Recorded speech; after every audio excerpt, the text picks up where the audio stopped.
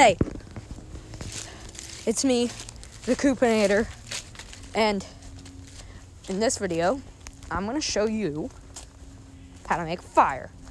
So first thing, uh, well, I'm sorry because I've been waiting for it to rain so I could show you how to do this.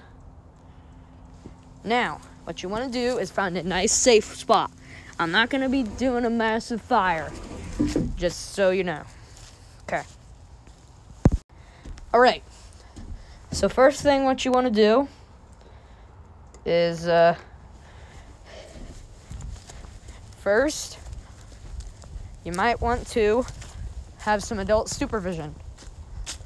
I'm just saying that. So, what you want to do is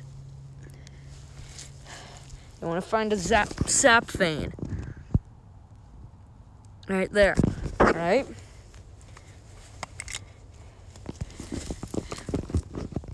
Now, you whip out your knife,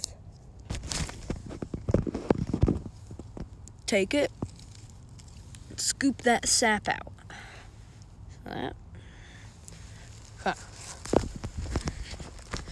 So now that you have your sap, now you want to go back to your fire spot, plop down. See that? All right. Now, I already have some cut, but you don't need them. Sapwood. I cut those out. If you do not have access to sapwood, that is fine. Find some of these pine needles that are brown. But if you don't have much time, just look around for the brownest stuff that you can find. For me.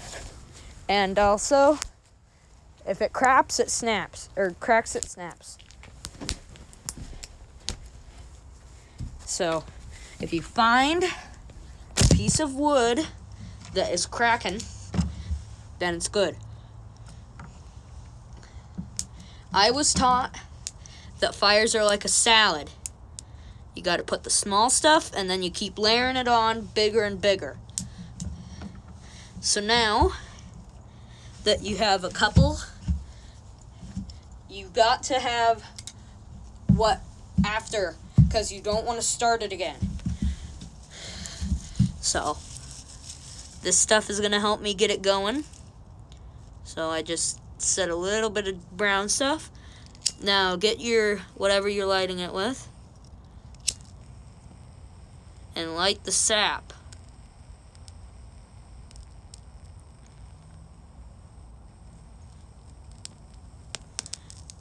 Okay. See that? Now I've got a little fire going. See? Now I put it out. Not to fear. If it does go out, start it up again. Sap goes up real easy, really quick. See that?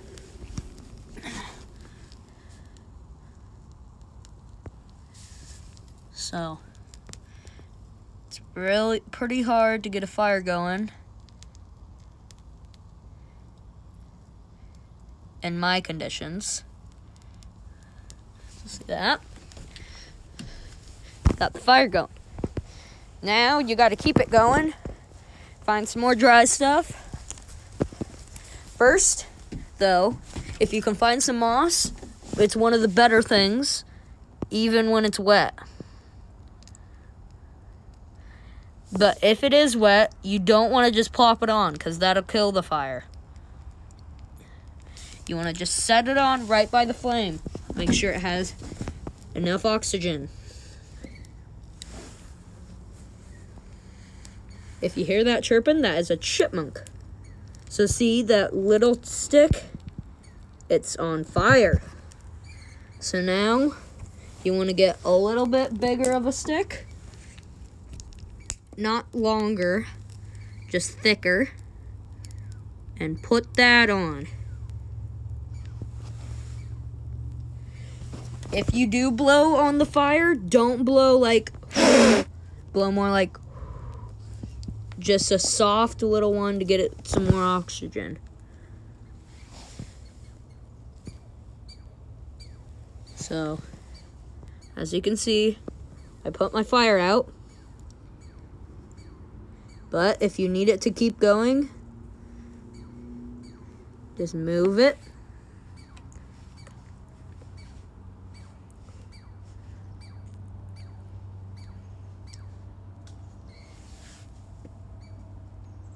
Oh, is that my cat? Look, here's a there's a cat up there. I don't know if you can see her, but she's right up in that Madrona. Right there, you can see her moving up there. She's hunting down a chipmunk.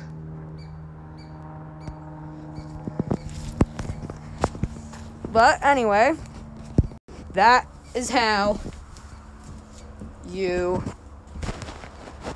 make a fire. Hope you enjoyed. Next video is probably going to be something like how to shoot cans with a BB gun or something like that. Well, and then maybe we'll do like some squirrel hunting. Maybe. Well, that's all for today. Bye.